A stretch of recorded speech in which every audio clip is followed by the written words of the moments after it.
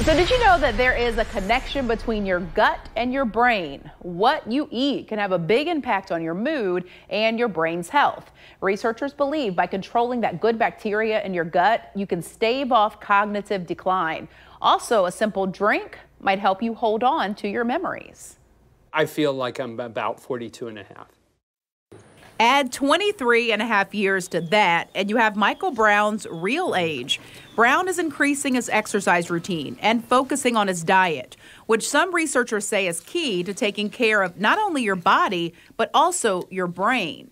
There is a natural uh, abundance of the good and the bad bacteria. They live together. Creating a microbial community in your gut that lives and works together. But the bad guys grow much faster than the good guys. The microbiome is very different in the people who are on high risk of developing dementia. Studies have shown the gut microbiome might affect executive brain function, including its influence on cognition, depression, and anxiety. 95% of serotonin and 50% of dopamine are produced in the gut.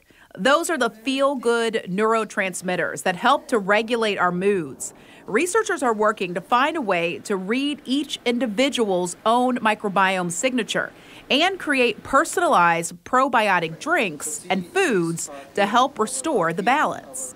Our hope is by offering or correcting the microbiome abnormalities early enough will delay or prevent the cognitive decline or dementia progression. I'm trying to control the aging process, right? I don't want to get old. I'm Marty Salt reporting.